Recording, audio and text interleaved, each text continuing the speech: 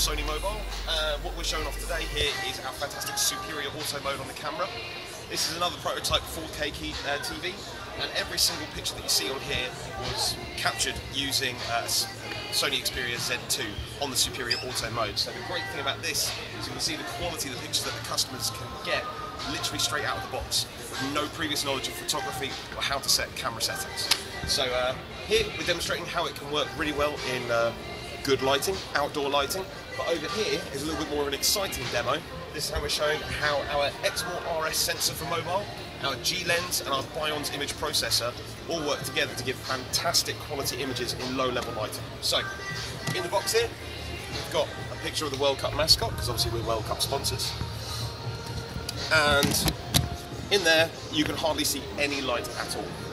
Now, power up the camera mode, you'll see this is in superior auto, we've disabled the flash.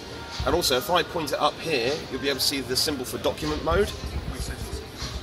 And if I point it at my face, it should say soft snap down there. It doesn't detect, it can detect my face. Yeah. Now, if I point it in the box, it will say low light. Now, if I take a picture with no flash, this is the kind of quality image that you can capture.